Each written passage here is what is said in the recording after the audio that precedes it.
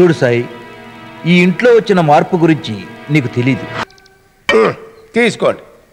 పొద్దున్నే పెగ్గేమిట్రా hangover peg. మీ యాంగిల్ చూసి పొద్దున్నే తలపట్టేసిందేమో అనుకున్నాను. నాకు తల పట్టింది మందు ఎక్కువై కాదు.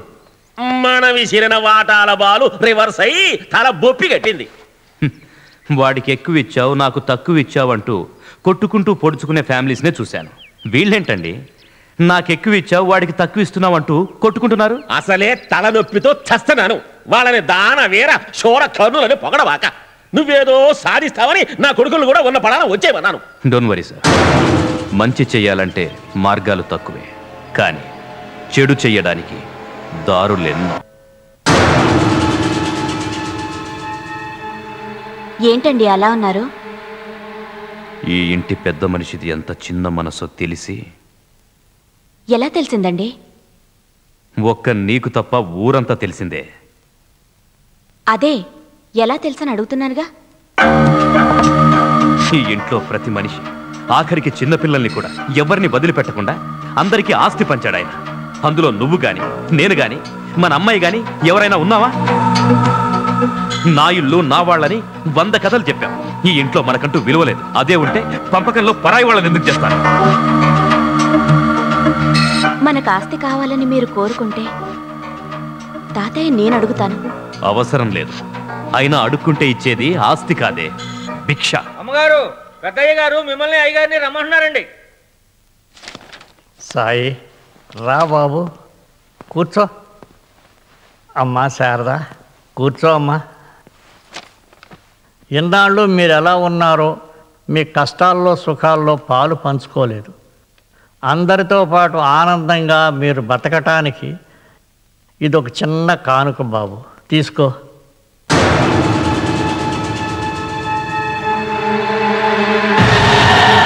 ఏంటి తాతయ్య ఇది? ఇది నేను సంతకం చేసిన బ్లాంక్ స్టాంప్ పేపర్. మీరు వచ్చిన రోజునే చేశాను. మీకు ఫలానా ఆస్తి అని రాయలేదు. మీకు ఏ ఆస్తి మంచిదని తోస్తే అది తీసుకోవచ్చు. ఇవ్వటానికి మేమందరం సిద్ధమే. మాకు మీ అందరి ప్రేమ చాలు తాతయ్య. ఇవన్నీ ఎందుకు?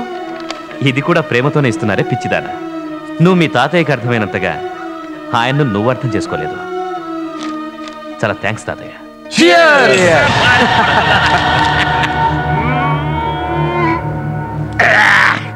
నువ్వేంద్రా సైడ్ అయిపోతావా?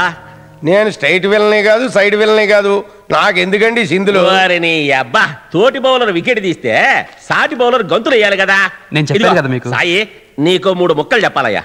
ఎంతో ఎక్స్పీరియన్స్ ఉండి కూడా ద గ్రేట్ దుశ్శాసనుడు ద్రౌపది చీర మొత్తం లాగలేకపోయాడు. ద గ్రేట్ వెయిట్ లిఫ్టర్ అని పేరు పొందిన రావణాసురుడు శివధనుస్సును ఎత్తలేకపోయాడు. అంతెందుకు? దాన వీర శోర కర్ణుడు చేప యంత్రం కొట్టలేకపోయాడు. ఈ ముగ్గురు చేయలేని పని నువ్వొక్కడివే చేసావయ్యా నా సాయి కుమారా. చేసింది చాలా తక్కువ అంకల్. ఆ. చేయాల్సింది చాలా ఉంది. Sir register post.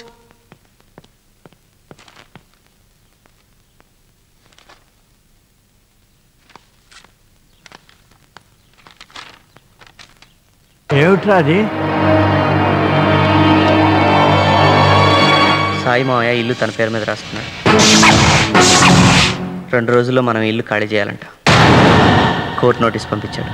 అసలేమైనా బుద్ధి ఉందా వందేళ్ళ వయసు రాగానే సరిపోతుందా? ఆలోచించలేకపోతే మా సలహా అయినా తీసుకోవాలి. అంతేగాని గుడ్డిగా గుండిగా రాసిచ్చేయడమేనా? ఇల్లు రాసిచ్చి ఇలా ప్లాట్ఫామ్ మీద పడేయడం అన్న పెద్దరికం?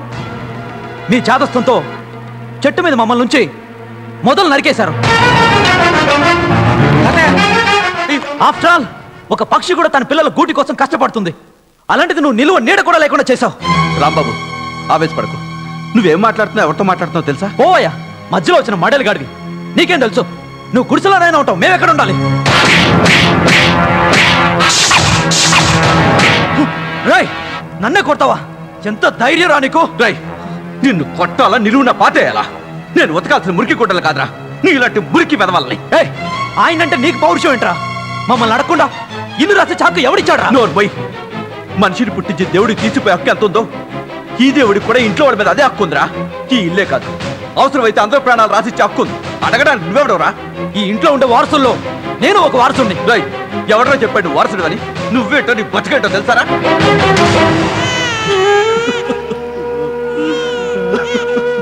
నీ భార్య చనిపోయిందా? అయ్యా ఈ పసిగుడ్డుతో నేనెలాగయ్యా బతికేది? అందుకే ఈ బిడ్డను మా అత్తారింట్లో వదిలి నేను అక్కడే బతుకుదాం అనుకున్నానయ్యా రేయ్ ఇన్నేళ్ళుగా ఈ ఇంటిని నమ్ముకుని బ్రతికావు. ఇప్పుడు నీ బిడ్డను చూసుకునే భార్య లేదని మా కుటుంబానంతా వదిలి వెళ్ళిపోతావురా? అది కాదయ్యా. నేను మీ బిడ్డలాగా పెరిగాను నిజమే. కానీ నా బిడ్డను చూసుకునే మనిషి ఎవరయ్యా?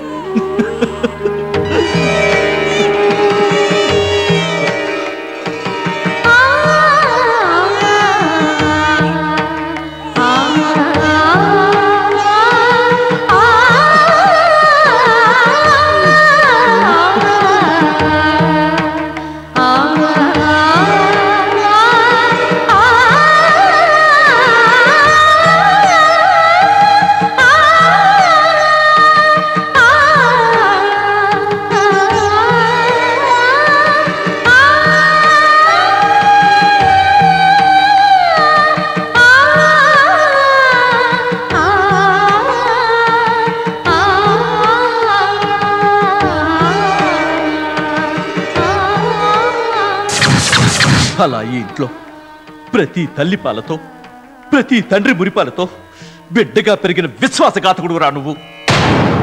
అలాంటి నువ్వు నా దైవాన్ని నిలదీస్తావురా? నాతో పాటు నీ కులవృత్తిని చేసుకోవాల్సిన నువ్వు ఇంత పెద్ద చదువులు చదవడానికి కారణం వీళ్ళేరా?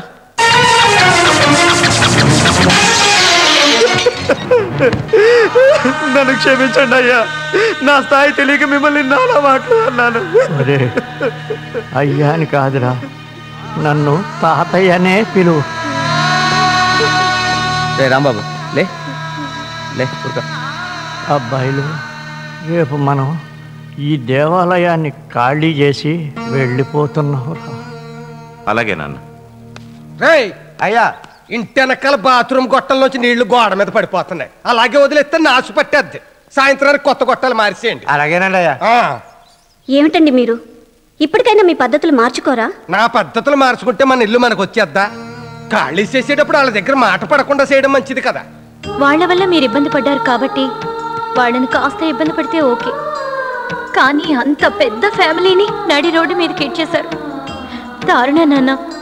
అందరినీ ఇబ్బంది పెట్టి సంపాదించిన ఈ ప్యాలెస్లో మీరే హాయిగా ఉండండి.